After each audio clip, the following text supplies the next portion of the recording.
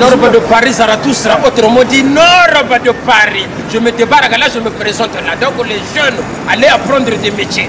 toyebisaka bino fo boyokola babulo mpo bopeyaka bapiese mais tous les ngaya mal inspiré qui ont voulu s'exprimer derrière le dos de norba bokosentir bobongisa balare bosomba bilamba ozo comprendre biso topeyaka baforme bango yoyo victime de la mode alors on dit quoi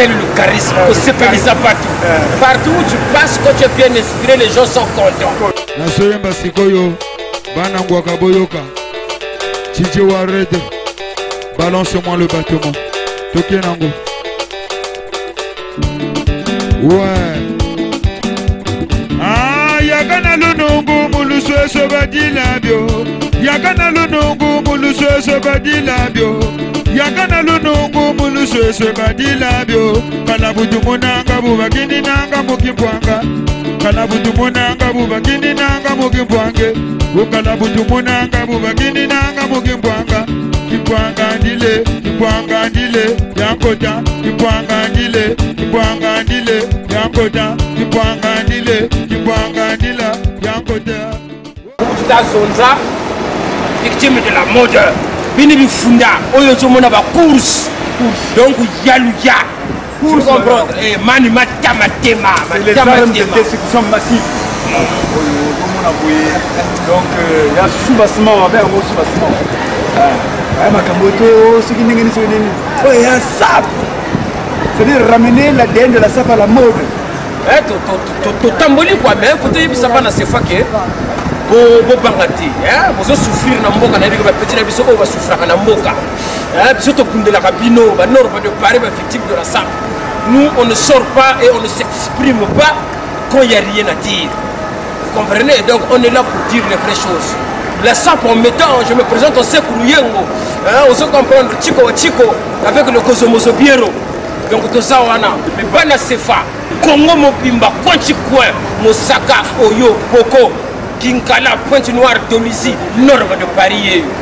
Oh, norba norba ayaya ah, tala kaka ta yo moko ah. mais ezoya ça arrive ça arrive et ça arrive norba de paris ça arrive nayebisi bino ke forme tozopaye kaka awa ah, toza na france botala ba grand prêtre botala ba grand prêtre toza bien au cercle esengo ya trop mais bokosepela mbote kaka pa vie nanga saint poli maestro DJ Pro le naturel, DJ Pro le naturel na kati ya Canada, vieux na yo azo continuer ko payer forme. Mais oyo eza fond coup, émission na bino ezo ya oyo noro bako pomper c'est pas wana. Tout ce qui se passe au Congo, je suis au courant. Un grand bonjour à Alema Bonko. Mukongo wa Boko na kati ya États-Unis, yo bengaki ti noro de Paris azo kota na state, kote palo la ba masolo. Je vais arriver dans pas longtemps. Congo wana, il y a pas longtemps on arrive. Faut vous soigner. mais j'ai pas encore parlé ça arrive fallait nanu bilamba après sima bongo topesela voilà. ah, c'est comme ça bonjour photo un selfie hein?